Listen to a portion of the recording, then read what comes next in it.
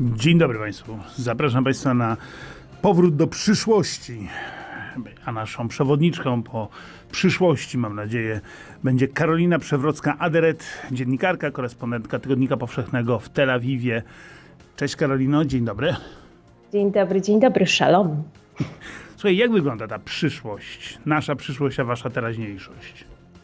Jest kolorowa i słoneczna, otwierają się knajpki, otwiera się bardzo powoli kultura. Przypomnijmy, że e, miejsca kultury w Izraelu były zamknięte od e, prawie roku. Izraelczycy nie mogli również latać po świecie, ponieważ lotnisko jest zamknięte. Ten świat tutaj faktycznie bardzo ciężko przeżył te kolejne trzy lockdowny. No a to, co się w tej chwili dzieje, to właściwie przypomina taką wielką popandemiczną imprezę. Ludzie tańczą pod knajpkami na ulicach, cieszą się tym, że już można, że można też wchodzić do środka tym osobom, które oczywiście mają tak zwany zielony paszport. No i cieszą się tym, że, że, że wreszcie można się dotknąć, uścisnąć. E, teraz e, Izraelczycy, Izraelczycy czekają głównie na to, żeby otworzyły się lotniska i żeby można było polecieć. No tak, z perspektywy Izraela lotnisko to jedyny kontakt ze światem. Przecież oni przejechać przez granicę nie mogą, bo nie bardzo wiadomo dokąd. Niby do Syrii? Dokładnie, dokładnie. Y, to chyba zamknięcie lotnisk, czy też uniemożliwienie takiego łatwego przemieszczania się, bo to, to latanie było możliwe w tym ostatnim roku, ale było możliwe głównie dla osób, które posiadały jakieś dodatkowe obywatelstwo i w tym ostatnim czasie praktycznie stało się zupełnie niemożliwe. To lotnisko się prawie całkowicie zamknęło e, i e, to, to chyba jest najtrudniejsza rzecz, która zmieniła się w czasie tej pandemii dla Izraelczyków. Izraelczycy bez latania e, są jak bez tlenu, tak jak wspomniałeś tutaj, inny rodzaj poruszania się jest utrudniony i to jest to... chyba coś, na co, na co najbardziej mhm. czekają. I to wszystko, chwili. i to wszystko, bo rozumiem, że też otwarte są szkoły, czyli życie wróciło do normalności. Pytanie a propos, w tej normalności jeszcze nosicie maseczki? Tak, jak najbardziej. Przez cały czas, e, kiedy obserwuję ludzi na ulicach, oni faktycznie trzymają e, jeszcze ten rygor. Oczywiście nie wszyscy, bo zdarzają się też pojedyncze wyjątki. E, natomiast używanie, nie wiem, żelów alkoholowych, jeszcze jakieś takie minimalne trzymanie dystansu, czy też zakładanie maseczek w czasie spotkań z osobami, z którymi nie przebywa się najbliżej, można zaobserwować. Natomiast. Ale to dlaczego? Dlatego, że, pada... ciąg... Dlatego, że ciągle jeszcze nie wszyscy, no, to ponad połowa, no, ale ciągle jeszcze nie wszyscy są zaszczepieni? Ja myślę, że to jest raczej e, w podświadomości, tkwi jeszcze taki jakiś rodzaj e, strachu, ale faktycznie pierwsze pytanie, jakie pada, kiedy spotykamy się ze znajomymi, to jesteś już zaszczepiony, prawda? To znaczy, że możemy sobie usiąść spokojnie e, nawet w środku i wypić kawę. Właśnie, my sobie, usi- my sobie usiedliśmy, rozumiemy, że ty jesteś zaszczepiona. Tak, jestem zaszczepiona. Pierwszą dawkę dostałam już na początku stycznia. Zazdroszczę. I y, słuchaj, y, pytanie dzisiaj jest w Izraelu, no tak, wasz narodowy sport, który ostatnio uprawiacie bardzo często, prawda? Dokładnie. Dzisiaj Izraelczycy świętują dzień wolny, ale od pracy, a nie od obowiązków obywatelskich, bo dzisiaj Izraelczycy głosują po raz czwarty w ciągu ostatnich dwóch lat. Sami możliwe? za bardzo nie wiedzą dlaczego. No właśnie, ja, ja bym cię chciał na razie tylko tyle o polityce. Jak to jest w ogóle możliwe? Przepraszam, czwarte wybory w ciągu dwóch lat. Pomyślcie sobie Państwo, że musielibyście tak co pół roku mieć kampanię wyborczą. Przecież to oszaleć można naprawdę. Dokładnie. W Knesecie, bitwę o Kneset wygrywa się w taki sposób, e, że trzeba stworzyć koalicję większościową. I do tej pory przez te trzy ostatnie rundy się to nie udało. E, za każdym razem tutaj liderem tych wyborów był e, minimalnie, bo minimalnie, ale jednak premier Benjamin Netanyahu. I faktycznie tym razem na to wygląda, wszystko na to wskazuje, że tym razem również tę te, te, te bitwę wygra. Ale właśnie minimalnie, osobiście znowu, to jest znaczy, ważne. Wygra czy nie wygra? To znaczy to jest pytanie, jak bardzo ją wygra. Będzie premierem czy nie będzie? O, to jest... Ja myślę, że będzie, bo w tej chwili nie ma w Izraelu lepszego, e, lepszego polityka, silniejszego polityka, o tym też możemy jeszcze porozmawiać, mhm. dlaczego tak się dzieje. E, mimo tego, że premier, przypomnijmy, e, staje przed sądem już po raz kolejny za kilka dni w związku z zarzutami korupcyjnymi. Jak to możliwe, że premier, najdłużej rządzący już w historii Izraela po Ben Gurionie, z, z takimi bardzo poważnymi zarzutami, jest dalej jakby na, na szczycie władzy i przede wszystkim dla no niego o tym oczywiście te kolejne wybory myślę, są... Mhm. Tak. Myślę, że nas w tej chwili z naszej perspektywy naj, naj, najważniejsze jest, jak to w ogóle się stało. Jak to się stało, że Izrael się otworzył, jak to się stało, że Izrael żyje. Przypominam, że, na, że, naszym gościem jest Karolina Przewrocka-Aderet, korespondentka z, z Izraela. Karolino, to się, wszystko jest takie pełne symboli. E, taki mecz 14 marca był, to tam tydzień temu raptem Bejter Jerozolima e, kontra Hapoel Kwar. 2-1 wygrali nasi oczywiście, o nasi tu. E, a Benjamin Netanyahu, który był na, na trybunach, ogłosił, że to jest pierwszy mecz w historii z zaszczepionymi kibicami. Tak. E, no, bardzo, bardzo powoli e, faktycznie wracają również te, e, te wydarzenia sportowe i wydarzenia kulturalne. To Ale jest poczekaj, zupełnie... ja o tym meczu chcę powiedzieć jedną rzecz.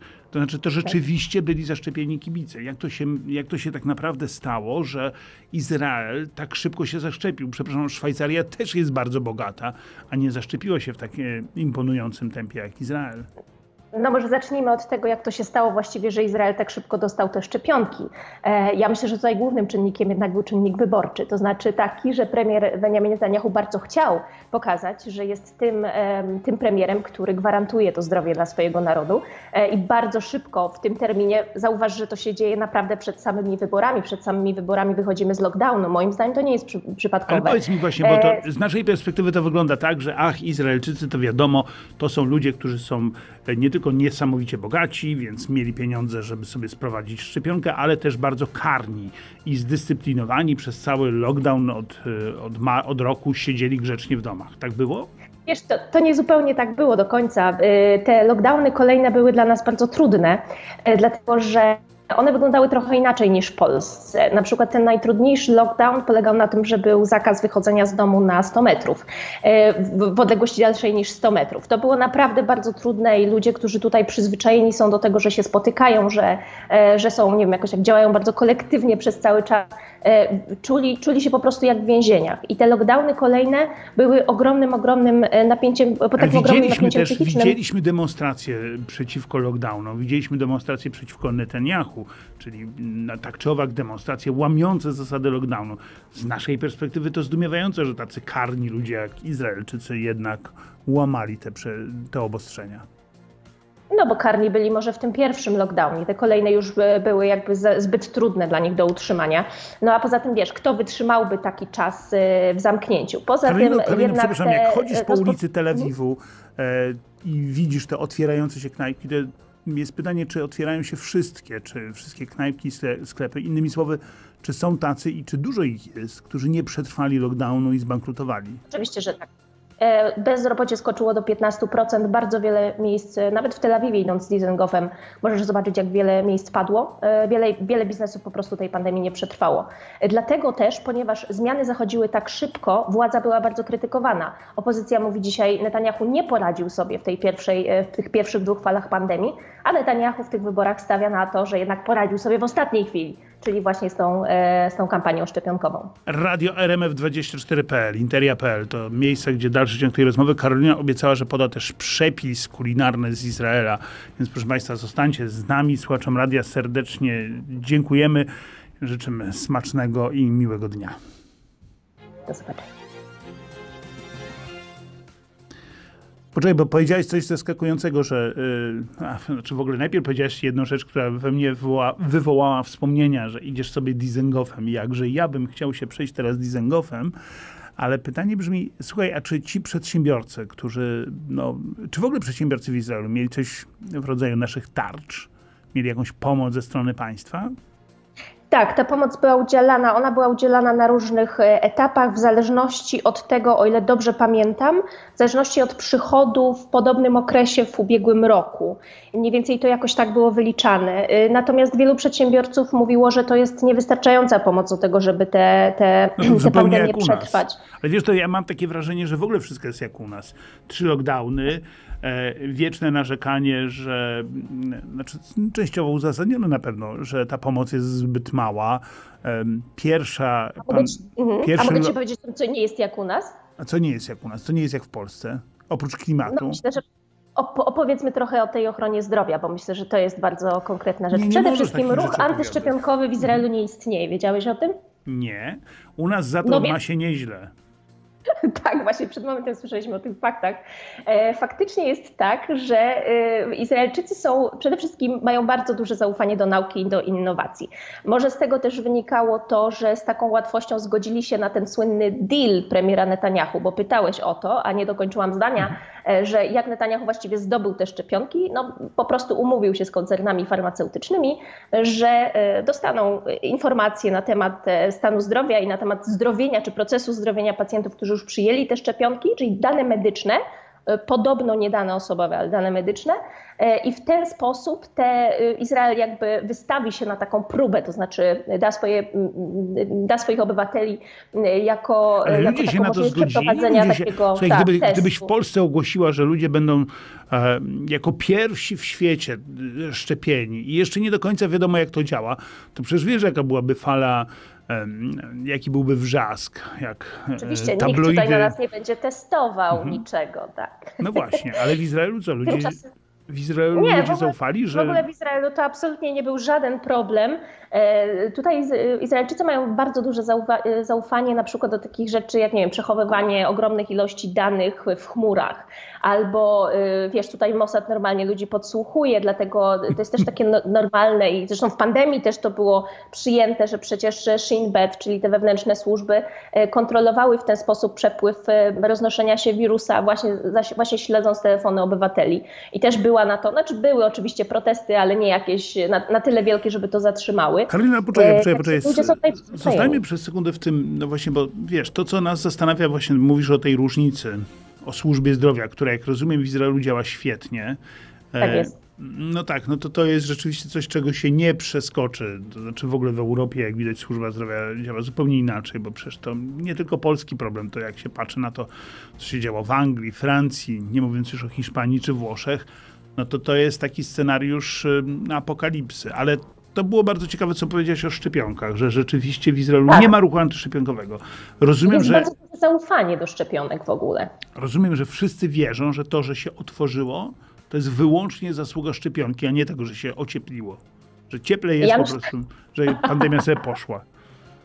Ciepło jest przez cały czas, wiesz, słońce też jest przez cały czas.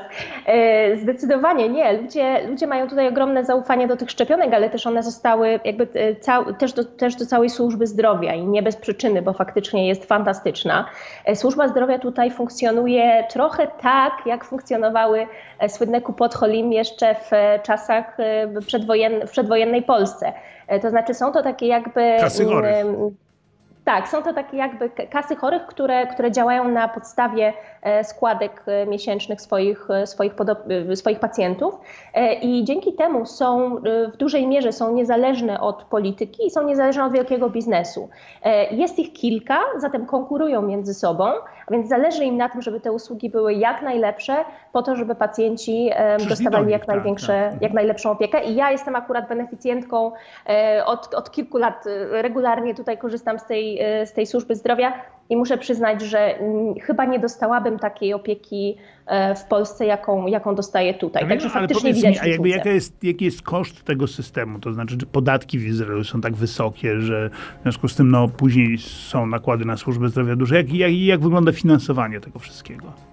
No właśnie, to jest pytanie, y, nie wiem, czy umiem bardzo dobrze tak dokładnie odpowiedzieć na to pytanie, bo głównie ta kasa chorych jest finansowana z, po prostu ze składek, które zależne są od wysokości przychodów, czy nie wiem, w danym miejscu pracy, w zależności od tego, ile zarabiasz.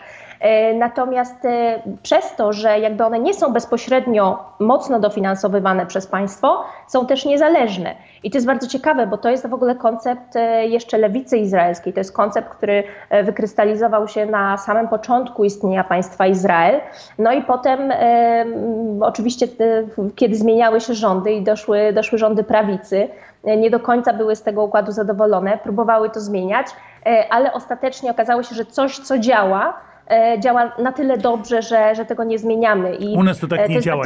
Jak, jak dobrze pamiętasz, u nas jak przychodzi nowa ekipa, to zmienia wszystko, bo co tam się będzie przejmowała, czy coś działa, czy przypadkiem nie.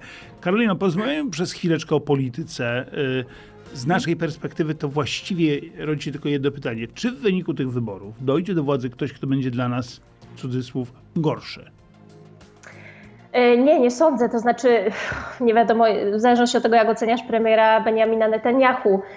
Dla niego te wybory są taką ostateczną, przepraszam, deską ratunku, ponieważ Netanyahu, jak już wspomniałam, stoi przed procesem korupcyjnym. On ma taki pomysł, takie marzenie, że jeśli uda mu się zbudować odpowiednią koalicję, to ona po prostu przeforsuje takie prawo, które zagwarantuje mu immunitet. I to jest w tym momencie jego główny cel. On nie byłby w stanie odnaleźć się w żadnym innym miejscu. On wie, że te zarzuty są na tyle poważne, że może zostać skazany. Ale zaraz te zarzuty dotyczą czego? Poczekaj, bo mówisz, że korupcja, korupcja. Czego to dotyczy? Co to znaczy, co takiego zrobił Netanyahu? Inaczej, o co się oskarża Benjamina Netanyahu e, e, w, tym, w tym procesie? O korupcję, o, między innymi o korupcję i o e, nadużycie zaufania. Chodzi tutaj o przyjmowanie bardzo dużych, wysokich e, prezentów e, typu, nie wiem, jakieś szampany i cygara od, od milionerów, ale też na przykład o wykupywanie w zamian za, w zamian za pozytywne informacje, wykupywanie miejsca w mediach właśnie przez Benjamina Netanyahu. Także tutaj te, te zarzuty są bardzo poważne. I Ale wiesz, z perspektywy Polski przyjmowanie nawet drogich szampanów czy cygar, to to jest detal. U nas to jednak są hurtownicy, a nie detaliści. Wiesz co, y, tak, natomiast jakby te zarzuty wobec Netanyahu, one się już ciągną latami. Tutaj myślę, że to też w ogóle to jest bardzo ciekawa sytuacja, bo ona też pokazuje, na ile niezależne są, na ile niezależne jest izraelskie sądownictwo, e, bo ona jest naprawdę niezależna od władzy. Jeśli premier może być sądzony w takim procesie, w tak głośnym procesie, to to pokazuje, jak, e, jak, jak ciekawy jest w ogóle ten kraj, że praktycznie i media działają niezależnie od polityki, i sądy działają niezależnie polity od polityki, a popatrz, jak silny jest premier Netanyahu. Jego władza jest praktycznie nieograniczona tutaj w tym kraju i to wszyscy to podkreślają, nawet jego, nawet jego przeciwnicy Swoją drogą, dzisiaj rano jadąc tutaj do biura, e, rozmawiałam e, z taksówkarzem i opowiadał mi, że, i to nie była pierwsza tego typu wypowiedź, opowiadał mi, e, że to są według bardzo wielu ludzi kolejne pieniądze wyrzucone w błoto i po prostu on do tych wyborów nie pójdzie. Także jestem bardzo ciekawa, jaka będzie frekwencja w tych wyborach, bo ona zwykle jest bardzo wysoka, nawet do 70-80%, a y, dzisiaj może być zupełnie inaczej. No to zobaczymy oczywiście, jaka będzie frekwencja w, w czwartych w ciągu dwóch lat w wyborach w Izraelu. Netanyahu, znaczy to powiedzmy tylko naszym, naszym słuchaczom, że startuje w nich parlament izraelski, czyli Kneset jest bardzo rozdrobniony. Start, tak. No i rzeczywiście zawsze rządzi koalicja i teraz pytanie, czy trzonem tej koalicji będzie Benjamin Netanyahu, czyli no, szef prawicowego Likudu, czy też taka koalicja, która jest trochę koalicją od sasa do lasa, czyli wszyscy przeciwko Kaczyńskiemu, czyli Netanyahu. Tak. E, Tutaj e, wydaje się, że zdecydowanie będzie to koalicja bardzo, bardzo prawicowa, patrząc na ten e, układ partii, który się dzisiaj, który się dzisiaj wyłania, też takich partii, które byłyby chętne ewentualnie stworzyć koalicję, ale mogą być też różne, z mhm. Netanyahu tak, ale oczywiście mogą być różne zaskoczenia. Są na przykład małe partie arabskie, które również zostały, nie wiem, Netanyahu wszedł w, tym, w, tym, w tej kampanii wyborczej taki lekki flirt z nimi, ponieważ do tej pory, nie wiem, czy pamiętasz dawnych E, w czasie poprzednich wyborów e, Netanyahu mówił o hordach arabskich, które e, blokują urny wyborcze i głosują tutaj na partie arabskie i na lewicę. A tym razem Netanyahu sam wyciągnął do nich rękę i zobaczymy, czy to będzie miało w ogóle, czy będą jakieś niespodzianki. No, no zobaczymy oczywiście. Głównym, tak, Ale właśnie to jest pytanie, ludzie żyją polityką w, w Izraelu, czy też, ponieważ to czwarte wybory w ciągu dwóch lat, myślę sobie nie, litości. Nie, zdecydowanie żyją. No też frekwencja pokazuje, na ile to jest ważne. Natomiast co jest ciekawe, ciekawe są powody, dla których żyją tą polityką. Jeśli zapytasz mieszkańców Tel Awiwu, którzy najchętniej chyba brali udział w tych um, słynnych marszach czarnych flag, czy w ogóle protestach, które odbywały się co sobotę od lata właściwie, e, od zeszłego roku e, właśnie na ulicach e, miast. To od razu powiedzmy, że były to protesty wymierzone właśnie w premiera Netanyahu. Netanyahu tak. tak, one miały jakiś tam na początku jakiś taki element właśnie, że władza nie radzi sobie z pandemią, ale potem już przetoczyły się i w całości skupiły się na właśnie na, na, na premierze Netanyahu i, y, i, i ta krytyka jego była bardzo, bardzo ostra. E, więc jest wiele osób, które mówią, e, kończy się nasz czas. Znaczy, no w Izraelu praktycznie nie ma lewicy, to też jest bardzo no ciekawe. Ta lewica jest no, bardzo, była, bardzo, rządziła, bardzo słaba. Tak, bardzo tak, rządziła i, i, i, i padła. Lewica izraelska jest zdecydowanie teraz e, w stolicach takich jak Berlin na przykład. Siedzi tam i a w Izraelu rządzi, A w Izraelu rządzi Benjamin Netanyahu, syn Wensjona Netanyahu. Wspominam o nim, bo Wensjon Netanyahu, ojciec premiera, już nieżyjący od, no, od kilku lat, e, urodził się w Warszawie i pochodził z Warszawy. Więc jak widać, A jak jeden z wielu Benjamin Netanyahu, polityków. nasz ziomek. Mm, Tak, w pewnym sensie. Tak jego żona zresztą chyba też. Sara wydaje mi się też ma jakieś korzenie w, okolicach Białego Stoku, ale nie jestem pewna. Ale też ma polskie korzenie. To mm, Karolina, ty mieszkasz w Izraelu od dobrych paru lat. Y, y, Nauczyłaś się gotować y, po izraelsku? Nie bardzo ja wiem, co to bardzo- znaczy, no ale czekamy, czekamy. Wiesz, dzisiaj kultura izraelska w ogóle to jest kultura Mizrahi, to znaczy kultura, która e, bardziej dotyczy, czy też wywodzi się od tych Żydów e, bliskowschodnich, tych rodzimych, a, a nie tyle dotyka Aszkenazów, czyli, czyli, czyli tego juda, tego, Żydów tych, Żydów, Polski, których my na znaliśmy. przykład, tak. tak, tak, tak, czyli z Europy Środkowo-Wschodniej, e, w ogóle z Europy i, i, i z tego też wynika właśnie kuchnia izraelska. I kuchnia izraelska to dzisiaj humus, to falafel, e, to potrawy bliskowschodnie, to różnego rodzaju potrawki warzywne, e, to sabichy. e, Natomiast e, ja Tak, ja byłem, zawsze, ja byłem zaskoczony, jak pojechałem do Izraela, że rzeczywiście kuchnia izraelska wygląda. Ja wcześniej jeździłem do krajów arabskich. Jak przyjechałem do Izraela, myślę sobie, no to teraz jem coś innego. Patrzę, litości, wszyscy jedzą to samo, co w Jordanii. Co to Ej, ja myślę, że my być? trochę oczekujemy takiego krakowskiego Kazimierza, który, kiedy Tak. tutaj przyjeżdżamy, a tutaj ani za bardzo ortodoksów nie uświadczysz, przynajmniej No nie, w Tel Awiwie, e, ani, ani muzyki nie, tak. Ani jedzenia, którego dobrze znasz, na przykład z restauracji Ariel na Kazimierzu. E, nie ma tutaj, e, ciężko jest tutaj nabyć, nie wiem, tak, nie możesz sobie wejść po prostu do restauracji i zamówić, nie wiem, czulent albo... Karolina, masz e, dwie minuty na, tak. na twój ulubiony przepis. Jest za tydzień, proszę Państwa, zaczyna się, nawet nie za tydzień, w sobotę zaczyna się Pascha, tak? Dobrze, dobrze, dobrze kombinuję. Chyba Tak, ten tak, żydowskie, żydowskie święto Pesach, które, no jak wiadomo, nie może na stole wylądować nic, co za, zawiera y, czyli zakwas. W związku z tym je się macę. I co ciekawe, Co się kiedy je? Macę. Izraelu, że w Polsce, tak, To która jest bez zakwasu. I teraz, jeśli mówię, że w Polsce można kupić macę w każdym supermarkecie przez okrągły rok, to oni nie mogą uwierzyć, bo tutaj macę kupuje się tylko i wyłącznie w okresie, w okresie peca, Pesach. I chciałeś usłyszeć przepis. dawaj, szybciutko. Rosół z kulkami macowymi, proszę Państwa, normalny, standardowy rosół, taki jaki najbardziej lubimy. E, Kulki macowe, czyli przy, myślę, że w Polsce najłatwiej będzie po prostu kupić macę, zmielić ją mocno, wymieszać, e, nie wiem, z jajkiem, z odrobiną mąki, z pokrojoną cebulą e, i z pietruszką. Wrzucamy, lepimy kulki, wrzucamy do rosołu. Fantastyczny rosół. Aleś jest właśnie się napracowała, kupiła sobie- jeśli chodzi właśnie o stół świąteczny. Aleś się napracowała. Kupiłaś sobie w supermarkecie macę, zmieliłaś i już? Nie, ja sobie, kup... ja sobie kupiłam mąkę macową, ale ty będziesz musiał kupić macę.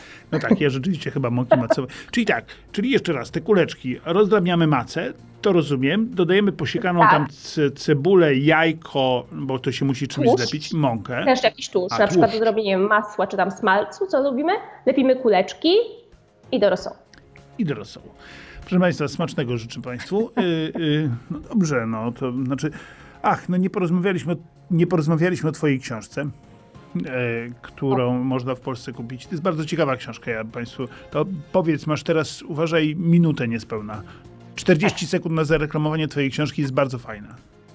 Pola nim z Polski do Izraela to historie polskich Żydów, którzy wyjechali z Polski w różnych etapach e, historycznych e, i e, badałam w niej, w jaki sposób odnaleźli się tutaj i w jaki sposób ta kultura, może jakiś pierwiastek polski, przedostał się do tego genu izraelskiego, który możemy tutaj dzisiaj obserwować. I ta książka jest oczywiście po polsku i wyszła w Polsce. Tak. Okazuje, proszę Państwa, że ten cały Izrael to jest tak naprawdę nasza kolonia. No przecież to, no, no, no od nas przyjechali, no od Aż nas tak to przyjechali. nie, ale jest fascynujący. Serdecznie Ci dziękuję za rozmowę. Kłaniam się nisko Tobie. Karolina Przewrocka-Deret była naszym gościem. Bardzo dziękuję Tobie, Dziękuję bardzo bardzo. dziękuję wszystkim Państwu. Y, No i już, koniec, kropka. Y, Zobaczymy, kto wygra wybory, a my się usłyszymy jutro. Do widzenia.